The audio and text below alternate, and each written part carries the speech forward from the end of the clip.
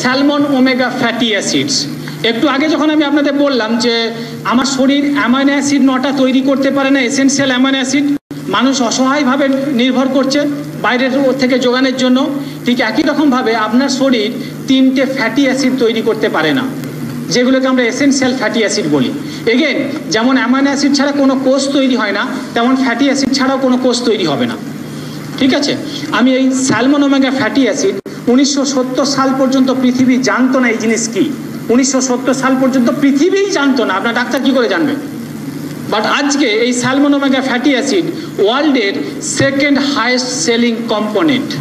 এতটাই গুরুত্বপূর্ণ হয়ে গেছে। আমি একটু স্যালমন ওমেগা সম্বন্ধে একটু ছোট্ট করে লিখেছি, আপনাদের একটু পড়ে শোনাই।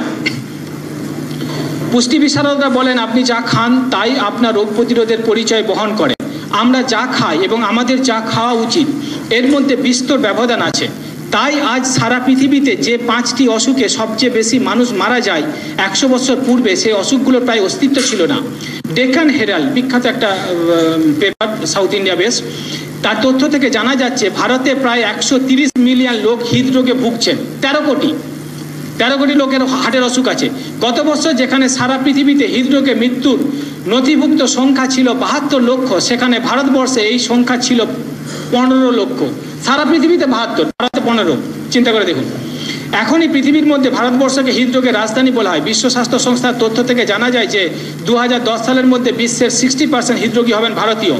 আবার অন্যদিকে গ্রিনল্যান্ডের দিকে তাকালে দেখা যায়, বরফে ঢাকা ওই দেশে এস্কিমোরা সবই চর্বিযুক্ত খাবার খাওয়া সত্ত্বেও ওদের হার্টের অসুখ, ডায়াবেটিস এবং ক্যান্সার প্রায় হয় না বললেই চলে। দীর্ঘদিন ধরে বৈজ্ঞানিকদের ধারণা ছিল যে এটা নিশ্চয় জেনেটিক মেকআপের কারণেই হয়। ঠিক যেমন গরুর টিটেনাস হয় না। গরুর দেখবেন লোহার ফালে পাকাটা গেলেও তার টিটেনাস হচ্ছে না। ঠিক সেরা স্কিম ওদের ক্যান্সার হার্ট অ্যাটাক ইত্যাদি হচ্ছে না। লোকে ভাবতে যে ওদের জেনেটিক মেকআপের মধ্যে ওর প্রতিরোধ ক্ষমতা আছে। কিন্তু পরবর্তীকালে দেখা গেল যে সমস্ত এস্কিমোরা কানাডা গিয়ে দীর্ঘদিন ধরে ক্যানাডিয়ানদের সাথে বসবাস করছিলেন কি অস্ট্রেলিয়াতে বসবাস করছিলেন এবং সেখানকার ফুড হ্যাবিটের সাথে অভ্যস্ত হয়ে যাচ্ছিলেন। তাদের দেখা গেল যে ক্যানাডিয়ানদের যেমন হার্টের অসুখ, ক্যান্সার ইত্যাদি হচ্ছে, ওই এস্কিমোরা যারা দীর্ঘদিন ক্যানাডিয়া ক্যানাডাতে আছে এবং ক্যানাডিয়ান খাবারের সাথে অভ্যস্ত, তাদেরও হার্টের অসুখ, ক্যান্সার শুরু হতে হতে শুরু করল। তার মানে বোঝা গেল যে তাহলে জেনেটিক মেকআপের মধ্যে ওর শক্তি লুকিয়ে নেই, ওই রোগ প্রতিরোধের ক্ষমতা লুকিয়ে নেই। নিশ্চয়ই খাদ্যের মধ্যে কিছু লুকিয়ে আছে। খাদ্য চেঞ্জ হতে যেহেতু এই রোগগুলো আসছে।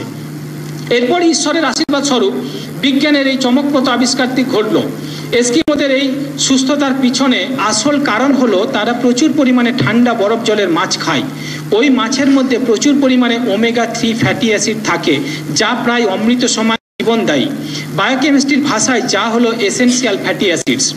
যে সমস্ত তেল বা চর্বির মধ্যে স্যাচুরেটেড ফ্যাটি অ্যাসিড বেশি থাকে, সেই চর্বিগুলি ক্ষতিকারক।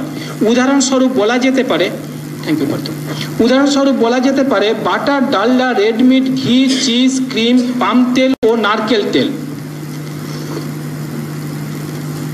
আবার অন্যদিকে যে সমস্ত তেলের মধ্যে পলি আনস্যাচুরেটেড ফ্যাটি অ্যাসিড বেশি থাকে, বাংলা খবরের কাগজে দেখেছেন PUFA PUFA poly unsaturated fatty acid বেশি থাকে, যেমন অলিভ অয়েল এই জন্য এত দাম। অলিভ অয়েল পৃথিবীর শ্রেষ্ঠ ভোজ্য তেল অলিভ অয়েল এই অলিভ অয়েলের মধ্যে মনো আনস্যাচুরেটেড ফ্যাটি অ্যাসিড সব থেকে বেশি আছে, যেটা হার্টের হেলথের পক্ষে সব থেকে ভালো। পৃথিবীর নাম্বার ওয়ান সেফ ভোজ্য তেল অলিভ অয়েল। রানতে কম লাগে, কম উদ্বায়ী বলে। দুর্ভাগ্যজনক, আমার ভারতবাসীরা অনেকে জানেই না যে অলিভ অয়েল একটা শ্রেষ্ঠ এবং সুস্বাদু ভোজ্য তেল। এর যেহেতু এর উপকার প্রমাণিত বহু বছর আগে যাদের পয়সা আছে তারা তো কিনবেই। এই জন্য আমাদের দেশে সদ্যজাত শিশুকে মেসেজ করার জন্য অলিভ অয়েল আমরা কিনি। আমরা ওই, ওইখান থেকে জেনে গেছি অলিভ অয়েল খায়, অনেকে আমাকে প্রশ্ন করে ডক্টর ঘোষ অলিভ অয়েল খায়? ও তো আমি জানতাম মেসেজ অয়েল এবং দুর্ভাগ্যবশত সেই মেসেজ অয়েলের মধ্যেও ভেজাল মেশানো হচ্ছে। একটু ওই কী বলে ওগুলোকে লাইট লিকুইড প্যারাফিন এল এলএলপির মধ্যে কিছুটা অলিভ অয়েল দিয়ে ওটাকে মেসেজ অয়েল বানিয়ে বিক্রি করছে। তাও একশো এম দাম, আশি টাকা, একশো টাকা, দেড়শো টাকা এরকম। সেই অলিভ অয়েল কিন্তু অ্যামেও মার্কেট করে। তিনশো চৌষট্টি টাকা লিটার হান্ড্রেড পার্সেন্ট পিওর বোঝা গেল ব্যাপারটা? মাধ্যমিকে পড়েছে। এই অ্যালকোহলিক গ্রুপটার সাথে যখন ফ্যাটি অ্যাসিডের কার্বক্সিলিক গ্রুপ মানে এইচ ও সি এই যে কার্বক্সিলিক গ্রুপ সিও এইচ এই কার্বক্সিলিক গ্রুপের সাথে CH two CH two CH two এইভাবে পরপর পরপর চলতে চলতে সিএইচ থ্রি এটা ধরুন ধরুন সতেরোটা যদি থাকে সি সেভেন্টিন সাধারণত চলছে এইচ থার্টি ফাইভ সিওএইচ এটাকে আমরা বলি স্টিক অ্যাসিড ঠিক আছে? এইটা এই ওএইচটার এখানে এইচটা এক মলিকুল জল আকারে বেরিয়ে গেল, বেরিয়ে গিয়ে এখানে যে লিঙ্কেজটা করলে, একটা এক্সট্রা লিঙ্কেজ গ্লিসারাইড মনো, এটাতে ডাই, এটা যখন হবে, এখানে তিনটে ফ্যাটি অ্যাসিড যখন যুক্ত থাকে, এইটাকে আমরা ট্রাই গ্লিসারাইড বলি। মনো ড্রাই ট্রাই গ্লিসারলের এস্টার গ্লিসারাইড এইটাই রক্তে মাপতে বলে হার্টের অসুখের পেশেন্টদের ক্ষেত্রে। এই যে ফ্যাটি অ্যাসিডগুলো পৃথিবীতে যত তেল, ঘি, চর্বি আছে, সবেরই কেমিস্ট্রি হচ্ছে এই ট্রাইগ্লিসারাইড তোফাতটা কোথায়? এই ফ্যাটি অ্যাসিড কম্পোজিশনে আবার এই ফ্যাটি অ্যাসিডগুলোর মধ্যে যদি আনস্যাচুরেশন পয়েন্ট থাকে ডবল বন্ড থাকে, একটা করে হাইড্রোজেন বাদ দিয়ে দিলে এটা ডবল বন্ড করতে হবে। এটা মনো আনস্যাচুরেশন হলো। একাধিক জায়গায় হলে পলি আনস্যাচুরেটেড ফ্যাটি অ্যাসিড এবার পলি মনো যত এই ফ্যাটি অ্যাসিডগুলো যত বেশি স্যাচুরেটেড হবে, সেইটা রুম তাপমাত্রায় জমে যায়। সেইগুলোকে আমরা ফ্যাট বলি। এই যখন আনস্যাচুরেশন পয়েন্ট বেশি থাকবে, সেটা রুম তাপমাত্রায় তরল থাকে, সেটাকে আমরা তেল বলি। ওই তেলকে আবার হাইড্রোজেনেশন করে জমিয়ে দিয়ে ডালডা বানানো হয়। বোঝা গেল? এই আনস্যাচুরেটেড ফ্যাটি অ্যাসিডগুলো স্বাস্থ্যের পক্ষে ভালো, স্যাচুরেটেডগুলো স্বাস্থ্যের পক্ষে ক্ষতিকারক। তো এই যে টাইগ্লিসারাইড তার মানে এগুলো আমরা বুঝলাম কি জিনিস? সব চর্বি বা তেল কিন্তু খারাপ নয়। আপনার ক্ষয়পূরণের জন্য কোষ বিভাজন হচ্ছে, কোষ তৈরি হচ্ছে, সেটা কোষ পর্দা ইত্যাদির জন্য লিপিড দরকার। লিপিড মানে ওই কিন্তু ওই জিনিস কেমিস্ট্রিতে ঠিক আছে? এগুলো প্রত্যেক দিনকার দরকারও আপনার। কয়েক রকমের চর্বি আছে, যার থেকে এমন কিছু ফ্যাটি অ্যাসিড পাওয়া যায়, যেগুলো না থাকলে আমাদের শরীর ঠিকমতো কাজ করে না। এগুলোকে আমরা এসেনশিয়াল ফ্যাটি অ্যাসিড বলি। এগুলি পলি আনস্যাচুরেটেড ফ্যাটি অ্যাসিড এগুলি আবার দু রকমের। এই যে পিউফার কথা বললাম poly unsaturated fatty acid poly unsaturated fatty acid এগুলো আবার দু রকমের। ঠিক আছে? একটাকে আমরা বলছি কি? যে ওমেগা সিক্স ওমেগা সিক্স আর একটাকে বলছি আমরা ওমেগা থ্রি ঠিক আছে? Omega six and omega three তো সুস্থভাবে বাঁচার জন্য সঠিক অনুপাতে ওমেগা থ্রি এবং ওমেগা সিক্স খাওয়ার দরকার হয়। ওমেগা থ্রি এবং ওমেগা সিক্স খাওয়ার আদর্শ অনুপাত হলো যে, আপনি ধরুন ওমেগা থ্রি এবং ওমেগা সিক্স এটা ধরুন ওমেগা থ্রি আর ওমেগা সিক্স এর আদর্শ অনুপাত কি? এক ভাগ ওমেগা থ্রি যদি ঢোকে শরীরে, তাহলে আপনার পাঁচ থেকে দশ ভাগ ওমেগা সিক্স যদি ঢোকে, এই কম্বিনেশনটা আপনার ক্ষয়পূরণ করে আপনার শরীরকে সুস্থ রাখবে। এটা হচ্ছে আদর্শ কম্বিনেশন তাহলে দুটোই দরকার ওমেগা সিক্সও দরকার ওমেগা থ্রিও দরকার। কিন্তু প্র্যাকটিক্যালি দেখা যাচ্ছে ইন্ডিয়ান কেন ইন্ডিয়াতে এত হার্টের অসুখ, কেন আমেরিকাতে এত হার্টের অসুখ? পরে যেটা দেখা গেল যে আমাদের খাদ ফুড হ্যাবিটকে বিশ্লেষণ করে দেখা গেছে, আমরা যে সমস্ত তেল, ঘি, চর্বি ইত্যাদি খাচ্ছি ডাইরেক্টলি বা ইনডাইরেক্টলি বাদাম খাচ্ছেন তার মধ্যে তেল আছে, সর্ষে বাটা খাচ্ছেন তার মধ্যে তেল আছে, নারকেল খাচ্ছেন তার মধ্যে তেল আছে। এইগুলোর মধ্যে বিশ্লেষণ করে দেখা গেছে, আমরা যা খাচ্ছি তাতে এক ভাগ ওমেগা থ্রি ঢুকলে তিরিশ থেকে সত্তর বা পঁচাত্তর ভাগ পর্যন্ত ওমেগা সিক্স ঢুকে যাচ্ছে। এইখানটায় গড়বড়। ধরুন এই এই দেয়ালটা বানানোর জন্য এক ভাগ সিমেন্ট আর পাঁচ ভাগ বালির মিশ্রণ দিয়ে এটা বানালে ঠিকমতো হতো। কিন্তু যদি এক ভাগ সিমেন্টের সাথে সত্তর ভাগ বালি মেশে, তাহলে কী হবে? ওটা ঝরে ঝরে পড়বে। আসল পাতটা সার্ভ হবে না। বোঝা গেল ব্যাপারটা? এইটা হচ্ছে ডিফেক্ট তাহলে আপনি কমন সেন্স অ্যাপ্লাই করলে বুঝে যাবেন যে এই ডিফেক্টটাকে রিকভারি করতে গেলে কি করতে হবে। এই ডিফেক্টটাকে রিকভারি করতে গেলে এই যে এটা বারটা ঢুকে যাচ্ছে, তাহলে এইখানে এইটাকে আপনাকে বাইরে থেকে বারটা ঢোকাতে হবে। বোঝা গেল? এইটাকে বাইরে থেকে বার্তা ঢোকানোর জন্য প্রতিদিন আপনার ক্ষয়পূরণের জন্য যতটা ওমেগা থ্রি অ্যাসিড দরকার, সেইটার কথা মাথায় রেখে একটা ক্যাপসুলের মধ্যে কিন্তু সেই জিনিসটাই ভরা আছে। এর একটা সব জিলেটিন ক্যাপসুলের মধ্যে যে পরিমাণ ওমেগা থ্রি আছে, আপনার প্রতিদিনকার ক্ষয়পূরণের জন্য সিল করে রাখা আছে হারমেটিক্যালি তো সিল প্রতিদিনকার ক্ষয়পূরণের জন্য ওটা যথেষ্ট। বোঝা গেল ব্যাপারটা? লক্ষ্মীদা আমি যদি চারটে একসাথে খাই অসুবিধাটা কোথায়? এটা কি সবাই খেতে পারবে? ওই একই কথা। প্রশ্ন করবেন, উনি কি বেঁচে আছেন? যদি বেঁচে থাকে, খেতে পারবে। কেন খেতে পারবে? না, আমার বাচ্চা না, এইটুকু বয়স খেতে পারবে? এগুলো এগুলো পরিষ্কার বুঝে নেন। কতগুলো দেশের আইন আছে? যেমন দেখবেন, এখানে অধিকাংশ প্রোডাক্টের গায়ে লেখা আছে best before two years best before three years ভারতবর্ষে মার্কেট করতে গেলে, ভারতবর্ষের গভর্নমেন্টের যে আইন আছে, সেই আইন মাফিক লেভেলটা তৈরি করতে হবে। নইলে আইনের জালে জড়িয়ে পড়বে কোম্পানি। বোঝা গেল ব্যাপারটা? সেই জন্য ওগুলো দেখে কনফিউজ হবেন না। তো ঠিক সেই রকম আপনার বাচ্চার মুখে ভাতে যদি মামা তাকে কোলে বসিয়ে ছোট্ট একটু ভাত মেরে, তাতে একটু মাছ মাখিয়ে যদি মুখে দিতে পারে, মাছের মধ্যে মাছের তেল থাকে, তাহলে ওইটা, এইটা কিন্তু একটা পিওর মাছের তেল, তাহলে আপনার বাচ্চা খেতে পারবে না কেন? বোঝা গেল ব্যাপারটা? আপনার বাড়িতে যে এটা পাকা রুই মাছ এসেছে, তার ঘিটা ভাজা হয়েছে, এতখানা তেল বেরিয়েছে, সেটা যদি ভাতে মাখিয়ে আপনি খেতে পারেন, যেটাই আমার ওমেগা এই ক্যাপসুলটা যদি এটাকে এটাকে যদি ভাঙান, ছটা ক্যাপসুলে যা তেল বেরোবে, সেটা আপনি একবারে ভাতে খেয়ে নিলেন। খেয়ে যদি হজম করতে পারেন, তাহলে এটা ছটা খেলে কোনো অসুবিধা নেই।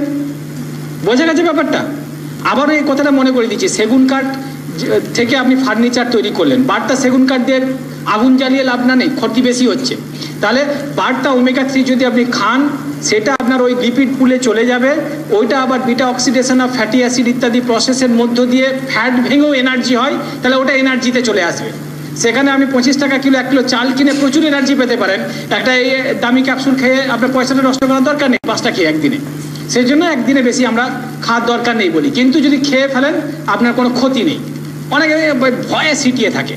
আর বারো বছরের চাইল্ডের ব্যাপার যেটা লেখা থাকে বারো বছরের চাইল্ড মানে বারো বছরের নিচের হিউম্যান শরীরেতে টেস্ট করার কোনো আইন আইন করা আছে, কেউ টেস্ট করতে পারবে না। সেই জন্যই যেহেতু টেস্টেড নয় বলে ওই ভাষাটা লিখতে হয়। এরপরে আপনার আমার প্রশ্ন হচ্ছে, দুই, তিন, চার, ছয়, আট বছর পর্যন্ত, বয়স পর্যন্ত যদি শিশু মাছ খেয়ে বড় হতে পারে, তাতেই মাছের তেল আছে। তাহলে এটা তো মাছের তেল। তাহলে আলাদাভাবে একটা একটা ক্যাপসুলের মধ্যে যেটুকু মাছের তেল আছে, সেটা খেতে কি কোনো অসুবিধা আছে? কমন সেন্স অ্যাপ্লাই করুন। নিশ্চয়ই কোনো অসুবিধা নেই। বোঝে গেছে অ্যান্সার ক্লিয়ার এগুলো বুঝে নেবেন, তাহলে আর কোনো কনফিউশন হবে না। অনেকে বাইরে উল্টো পাল্টা অনেক কথাবার্তা বলে, শিক্ষিত লোককে আমি অনেক কিছু ভুলভাল বলতে শুনেছি।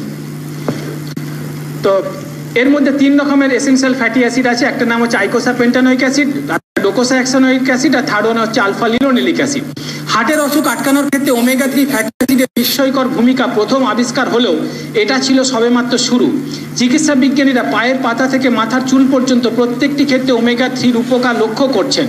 বর্তমানে বোধহয় এমন কিছু দিন যাচ্ছে না, যেদিন পৃথিবীর কোনো না কোনো জায়গায়, কোনো না কোনো বৈজ্ঞানিক ওমেগা থ্রি ফ্যাটি অ্যাসিডের নতুন কোনো গুণ আবিষ্কার করছে না। এই জন্যই বললাম, উনিশশো সত্তর সাল পর্যন্ত সারা পৃথিবী কেউ জানতো না, বাট আজকে এর গুণ সারা পৃথিবীর বিভিন্ন কোয়ার্টারে বিভিন্ন বৈজ্ঞানিক আবিষ্কার করেছে, এই সেই দিনে দেখলাম একটা রিসার্চ আর্টিকেল, সেখানে লিখছে omega three fatty acid link to denser bone in man osteoporosis, osteoporosis osteopenia আটকানোর জন্য ওমেগা থ্রি ফ্যাটি অ্যাসিড প্রভূত উপকার আছে। প্রমাণ হচ্ছে, দিনের পর দিন বহু নতুন নতুন তথ্য বেরিয়ে আসছে। ওমেগা থ্রি শরীরে ক্ষতিকারক প্রোস্টাগ্ল্যান্ডিন লিউকোটাইন্স এবং থম্বোক্সিনের মতো বস্তুগুলিকে তৈরি হতে দেয় না বলে উচ্চ রক্তচাপ স্বাভাবিক হয়। এই প্রত্যেকটা প্রোডাক্টের ফিচার্স বারে বারে শুনবেন। তাহলে বুঝে যাবেন কোন পেশেন্টকে কী কী দিতে লাগবে বা আপনি সুস্থ থাকার জন্য কোন কোন প্রোডাক্টের কম্বিনেশনে আপনি থাকবেন। রাইট যাদের হাই ব্লাড প্রেশার আছে প্রত্যেকে দিতে পারে। রক্তজালিকার ভেতর রক্তকে জমাট বাঁধতে দেয় না। আমার কি স্ট্রোক হতে পারে? ইয়েস হতে পারে। যে কোনো মানুষের হতে পারে। তাহলে যে কোনো মানুষই ওমেগা থ্রি খেলে স্ট্রোকের প্রবণতা কমবে। ইয়েস রাইট এই উত্তরগুলো আপনি নিজেই পেয়ে যাবেন। রক্তকে তরল রাখে। রক্তে ট্রাইগ্লিসারিডের মাত্রা কমিয়ে হার্টের অসুখের ঝুঁকি কমায়, ধমনির প্রদাহ কমায়, ধমনির ভেতর প্লেক জমে সরু হয়ে যাওয়া আটকায়। আথেরোস্ক্লেরোসিস কোলেস্টেরল জমে গিয়ে ধমনী শুরু হয়ে যাচ্ছে। জীবনের প্রথম দু বছর ব্রেন সবচেয়ে বেশি পরিমাণে ডোকোসা হেক্সানোইক অ্যাসিড জমা করে ডিএইচএ তার মানে কি দাঁড়াল? একটু আগে বলছিলাম যে সিলিং ফ্যান থেকে ঝুলে পড়া উচিত বাবা মায়ের। প্রেগনেন্সি পিরিয়ডে যদি আপনার ওয়াইফ সাফিসিয়েন্ট পরিমাণে এই ওমেগা থ্রি খেতেন ল্যাকটেটিং পিরিয়ডে আপনার ওয়াইফ যদি সাফিসিয়েন্ট পরিমাণে এই ওমেগা থ্রি খেতেন, তাহলে আপনার ওয়াইফের থ্রু দিয়ে আপনার বাচ্চা শরীরে ওটা ঢুকতো এবং ব্রেন তৈরিতে কাজে লাগতো। যার ব্রেনে যত বেশি ডোকোসা হেক্সানোইক অ্যাসিড আছে, সেই শিশু তত বেশি ইন্টেলিজেন্ট তারপরে যখন শিশু সলিড খাওয়া শুরু করছে, তখন সে ডাইরেক্টলি খাচ্ছে। এবং এই কারণে দেখবেন আমাদের ওমেগা থ্রি মার্কেটে আসার পরে বাজারে একটা হেলথ ড্রিঙ্ক আছে, তারা ইয়ে করে অ্যাডভার্টাইজমেন্ট করে যে জুনিয়র হরলিক্সের মধ্যে ওমেগা থ্রি সরি ডিএইচে আছে। আমাকে অনেকে প্রশ্ন করে যে লক্ষ্মীদা ওরা দিচ্ছে কি করে? অ্যাডভার্টাইজমেন্টের চমকগুলো আপনাকে বুঝতে হবে। এর মধ্যে তেইশটা খাদ্যগুণ আছে, ওর মধ্যে এতগুলো আছে, বার গ্যাপ করে দেখাচ্ছে। রাইট দেখবেন আপনার মানে আপনি মানে যে ইন্ডিয়ার ম্যাপ আপনি দেখছেন যে দিল্লি ওইখানটায়, এই পা লাগা লাগা, আমি এখন এই মুহূর্তে ঘুষ করে এখন দিল্লি চলে এসেছি। প্র্যাকটিক্যালি কি দিল্লিতে যাওয়া হলো?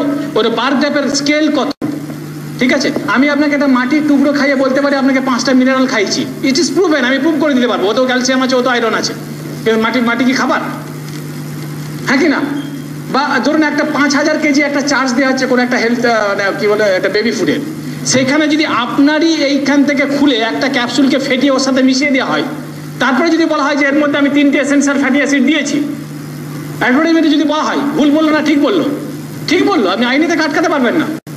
কিন্তু কতটা দিয়েছেন স্যার? উত্তরটা নেই। ইয়ে শূন্য এই উত্তরটা নেই।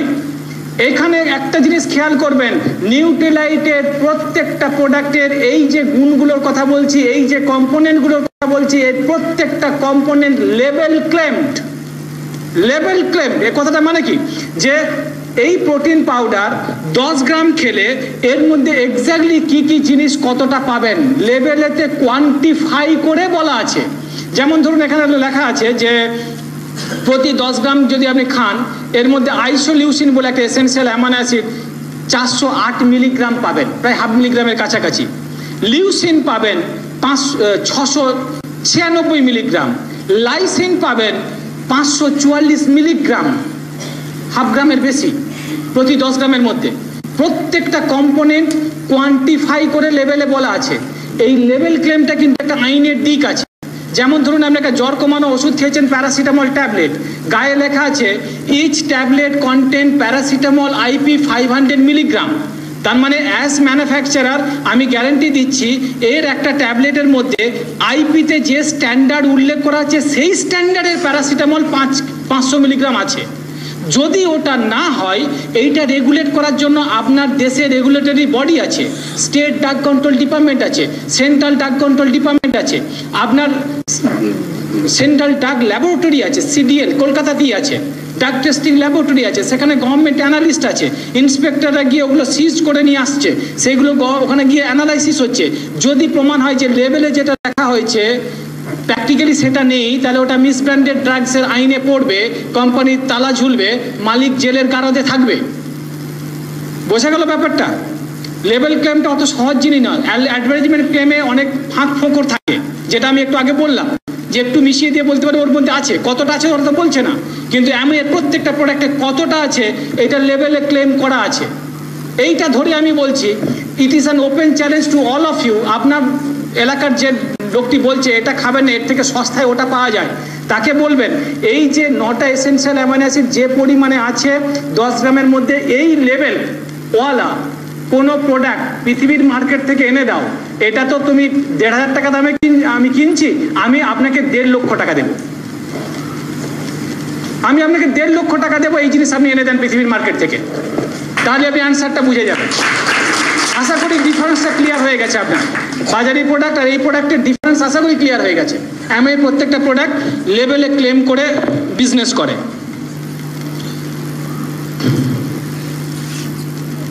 তো সেই জন্যই বলছিলাম যে গ্রোয়িং এজে পার্টিকুলারলি প্রেগনেন্ট ল্যাকটেটিং মাদার এবং গ্রোয়িং বাচ্চাদের ক্ষেত্রে ওমেগা থ্রি এগেন অমৃত সমান। কোষের ভেতর অক্সিজেন পৌঁছাতে এই ওমেগা থ্রি সাহায্য করে। কোষের বৃদ্ধি, বিভাজন করার জন্য দরকার। হাড় শক্ত রাখে। একটু আগে যেটা বললাম, আবার রিসার্চ আর্টিকেল বেরিয়েছে। রোগ প্রতিরোধের ক্ষমতা বাড়ায় ইমিউনিটি উদ্যম কর্মক্ষমতা এবং অক্লান্ত কর্মশক্তি বাড়ায় এবং মাংসপেশি তৈরি করতে সাহায্য করে, ত্বক, চুল এবং নখ সুন্দর করে। বৈজ্ঞানিকরা বলছেন, বার্ধক্যের অসুখগুলিও ওমেগা থ্রি ফ্যাটি অ্যাসিডের ঘাটতির কারণেই হয়। গবেষণায় দেখা গেছে রিউমাটয়েড আর্থাইটিসের ক্ষেত্রে ওমেগা থ্রি গাঁটের যন্ত্রণা, ব্যথা, ফলা, লালব, ভাব ইত্যাদি কমিয়ে দেয়। যার জন্য আজকে বাবা হাঁটু মানে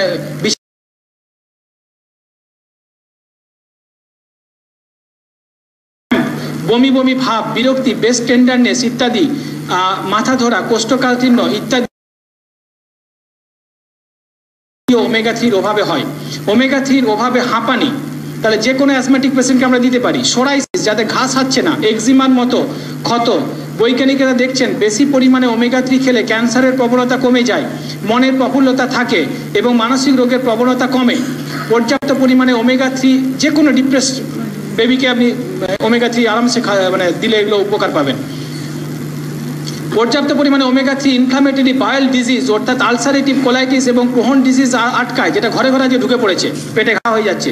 পর্যায়ক্রমে কোষ্ঠকাঠিন্য এবং কোষ্ঠতারল্য, পেটের যন্ত্রণা, বমি বমি, ভাব ইত্যাদি উপসর্গ ওমেগা থ্রির মাধ্যমে কমে যায়। গুরুত্বপূর্ণ এই ওমেগা থ্রি কারা এবং কীভাবে ব্যবহার করবেন? উত্তরে বলব, যারা বেঁচে আছেন তারাই। কেন? আগে উত্তরটা দিয়েছি। মাছের তেল সবাই খেতে পারে। বিশেষ করে বয়স্করা, যাদের হৃদরোগের প্রবণতা বেশি, ভারতের এক এক তৃতীয়াংশ মানুষ নিরামিষাস নিরামিষভোজী এনাদের অতি অবশ্যই ওমেগা থ্রি নেওয়া উচিত। খাবারের সাথে দৈনিক একটা নিউট্রিলাইট স্যামন ওমেগা ক্যাপসুল খেলে তা আপনার শরীরে ওমেগা থ্রি এবং ওমেগা সিক্সের অনুপাতে সঠিক এই অনুপাত থেকে সঠিক করছে এবং সুস্বাস্থ্যের অধিকারী করে তুলছে আপনাকে। এখন প্রশ্ন হলো, কেন অ্যামের নিউট্রিলাইট স্যামন ওমেগা খাব? মনে রাখবেন, ওমেগা থ্রির এই যুগান্তকারী আবিষ্কার এটিকে পৃথিবীর বাজারে প্রায় সব থেকে বেশি বিক্রির জায়গাতে তুলে এনেছে। একটু আগে বলছিলাম না সেকেন্ড হাইয়েস্ট সেলিং কোম্পানি এখন ওমেগা থ্রি ফ্যাটি অ্যাসিডস সেই সুযোগে মানে এবং প্রচুর কোম্পানি মার্কেট করছে।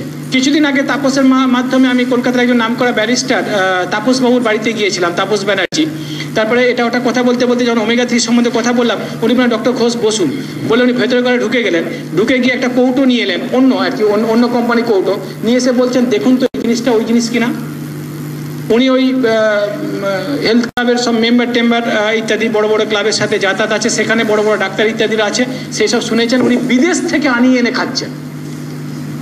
বুঝতে পেরেছেন? এরকম নয় যে এরকম এমএ এসে আপনাকে নতুন কিছু ইয়ে করছে। এগুলো সব এস্টাবলিশ ঘটনা, আমরা চর্চারভাবে জানতাম না। তো বেশি বিক্রি জায়গাতে তুলে এনেছে। সেই সুযোগ গ্রহণ করতে বহু কোম্পানি এখন ওমেগা থ্রিকে বাজারে নিয়ে আসছে। ভারতবর্ষের প্রায় পনেরোটা কোম্পানি এই মুহূর্তে ওমেগা থ্রি মার্কেট করে। এগুলি কিন্তু সমগুণসম্পন্ন নয়। কারণ যদিও ওমেগা থ্রি এর সবচেয়ে বড় উৎস হলো স্যামন মাছ। এই স্যামন মাছ কিন্তু ওমেগা থ্রি তৈরি করতে পারে না। অ্যাকচুয়ালি ওমেগা থ্রি তৈরি করে আটলান্টিক ওশানের ঠান্ডা ওই সমুদ্রের তলার জলে কিছু কিছু সামুদ্রিক উদ্ভিদ জন্মায় মাইক্রো ফাইটোপ্ল্যাঙ্কটন ফাইটোপ্ল্যাঙ্কটন মাধ্যমে আমি পড়েছি এই মাইক্রো ফাইটোপ্ল্যাঙ্কটনগুলো তাদের শরীরেতে ওমেগা থ্রি অ্যাসিড তৈরি করে এই মানে স্যামন মাছগুলো ওই ফাইটোপ্ল্যাঙ্কটন গুলোকে খায় খাওয়ার ফলে ওই ওমেগা থ্রিটা ফাইটোপ্ল্যাঙ্কটন থেকে শরীরে জমতে থাকে। কীভাবে এটা ধরা পড়ল? মাছের তেল বিশ্লেষণ করে দেখা যাচ্ছে এই ট্রাইগ্লিসারাইড তো আছে, সেখানে ওমেগা থ্রি আছে। ফ্রি ফর্মে ওমেগা থ্রি আছে। ফ্রি ফর্মে ওমেগা থ্রি আছে। তাহলে ফ্রি ফর্মে কোথা থেকে এলো? এ প্রশ্নে একটা গল্প মনে পড়ে যাচ্ছে। একবার একজন ফরেন্সিক ল্যাবরেটরি সায়েন্টিস্ট আমার কাছে এসেছিলেন, যে ডক্টর ঘোষ মাইক্রো অ্যামাউন্টে মানে একদম মিলিগ্রাম লেভেলের অ্যালকোহল এস্টিমেশন করব কি করে? আপনাদের ফার্মাকোপে ইত্যাদি অনেক ঘেটে দেখেছি, কিন্তু কোনো উত্তর পাচ্ছি না। ওই পনেরো পার্সেন্ট, কুড়ি পার্সেন্ট অ্যালকোহল থাকলে তবে এস্টিমেট করা যায়। এটা ওটা গল্প টল্প করতে করতে আমি জানলাম যে ব্যাপারটা কি বলুন একটা চ্যালেঞ্জ আমাদের আছে যেটা আমরা আনসলভ হয়ে যায় অনেক সময়। সেটা ধরুন একটা লোক রাত্রিবেলা মানে বাসে চাপা পড়েছে লাস্টে যখন তুলে নিয়ে আসছি, গা থেকে মদের গন্ধ বেরোচ্ছে। এটা দুটো কারণ হতে পারে, লোকটা ড্রাঙ্ক অবস্থায় হাঁটছিল বলে অ্যাক্সিডেন্ট করেছে। আর একটা কারণ হতে পারে, ওকে মার্ডার করা হয়েছে, করে ওর গায়ে মদ ঢেলে দেওয়া হয়েছে। তো তখন যদি আমরা বডি ফ্লুইডের মধ্যে যদি মদ পাই, তাহলে লোকটা ড্রাঙ্ক করেছিল। যদি বডি ফ্লুইডে মদ না থাকে, একদম হান্ড্রেড পার্সেন্ট শিওর যে লোকটাকে মার্ডার করে মদ ঢালা হয়েছে। মদ যেহেতু ঢালা হয়েছে, তাহলে মার্ডার করা হয়েছে। ঠিক আছে, তো ওটা নিয়ে আমি প্রচুর মানে রিসার্চ করেছিলাম এবং আমার রিসার্চ আলটিমেটলি দুখানা ওটার উপরে রিসার্চ পেপার পাবলিশড হয়। খুব ভালো কোয়ালিটি কাজ হয়েছিল। তো ওই মানে উত্তরটা হচ্ছে যে ফ্রি অ্যালকোহল ব্লাডে যখন গেছে, তার মানে ওটা খেয়েছে, শোষণ তবে তো ব্লাডে ঢুকেছে। ফ্রি ওমেগা থ্রি যেহেতু ওর ব্লাডে পাওয়া যাচ্ছে, তার মানে এমন কিছু খাচ্ছে সেটা ওমেগা থ্রি আছে। সেখান থেকে আবিষ্কার হলো। এইটা জানার পরে দেখা গেল যে ওই আটলান্টিক ওশেন বা অন্যান্য ওশেনের ঠান্ডা জলে যে যে মাছ আছে তাদের শরীরে সত্যি সত্যি ওমেগা থ্রি আছে।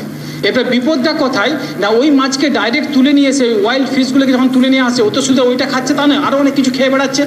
সেখানে তাদের ওই তেলের মধ্যে প্রচুর পরিমাণেতে হেভি মেটাল মিশে আছে পার্টিকুলারলি মার্কারি হাই পার্সেন্টেজে মিশে আছে।